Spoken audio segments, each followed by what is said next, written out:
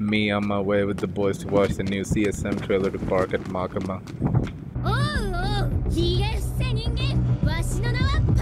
Wait, that sounds familiar.